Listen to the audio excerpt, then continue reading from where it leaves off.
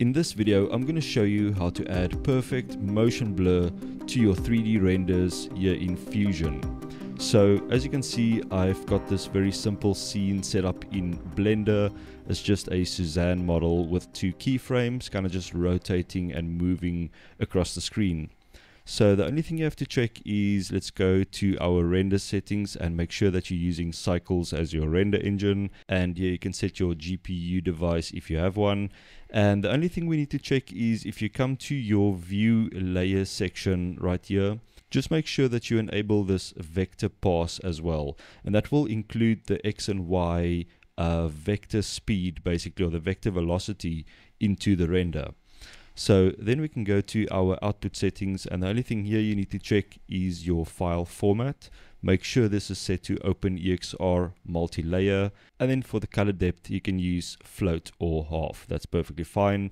So as you can see this is uh, it's got a duration of 60 frames so you can render that out to an image sequence and then let's jump into Fusion. Alright, so here I am in Fusion and first of all we can import our image sequence that we rendered from Blender. So I'm going to right click here in the media pool area. If you don't see the media pool, just click the media pool right here at the top.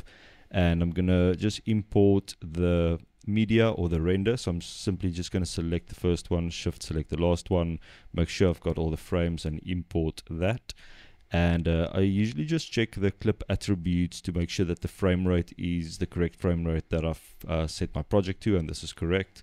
And then we can create our new fusion composition by just right clicking new fusion comp.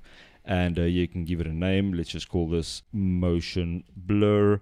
And you can also set the duration here. So this will only be two seconds I think. Yeah 60 frames two seconds um, that should be fine. And then you simply double click this comp to open up the node system at the bottom. And then you can drag in your 3D render.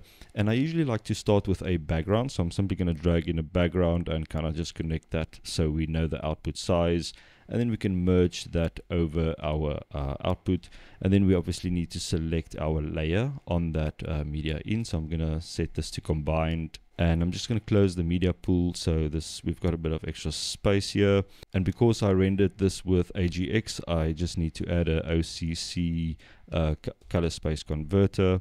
And I'll just set my source color space and my output color space so everything looks correct. And then what we can do is we can search for a vector motion blur node and we can drop this in right here and as you can see, nothing really happens. So we can play through this and you can see we don't have any motion blur. So what we need is an input. There's an input on this node which is vectors. You can see the green one here, the blue one I think is the mask, yeah, and the green one is the a vector that we need to input. So what we need to do is we need to take our EXR image sequence and plug that into our vectors input right here. But as you can see, nothing is still happening. And there's one extra step that you need to do.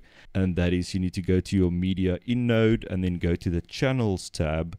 And then you'll see you've got your X and Y velocity here. And you just need to set that so it is connected to those passes. So there's the layer vector X and that's the vector y. And instantly you can see we've got that perfect motion blur.